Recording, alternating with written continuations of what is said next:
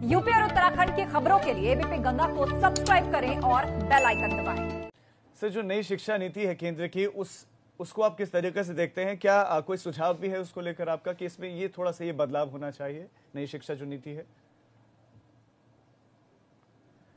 देखिए नई शिक्षा नीति को मैं कह सकता हूँ कि जो 1968 में पहली बार शिक्षा नीति लागू हुई वो और उसके बाद दो उन्नीस में दूसरी बार शिक्षा नीति का संशोधित स्वरूप सामने आया।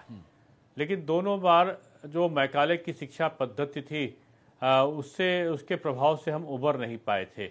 आ, इस बार की शिक्षा नीति में वृहद पैमाने पर आ, कई लाख लोगों का परामर्श शामिल करते हुए सभी पक्षों के विचारों को समावेशित करके जो शिक्षा नीति बनाई गई है मैं कह सकता हूँ कि जो मैकाले की काली साया थी उससे हमारा भारतवर्ष उभर सकेगा और निचले स्तर पे हमारी मातृभाषा और क्षेत्रीय भाषाओं का प्रभाव बढ़ेगा।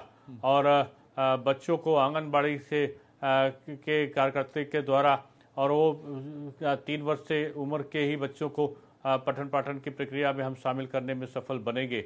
और साथ में जो हमारे हायर एजुकेशन के क्षेत्र में तमाम गतिविधियाँ हैं उनको भी हम संपादित करने में इसलिए सफल होंगे कि नई शिक्षा नीति ने तमाम प्रयोग किए हैं।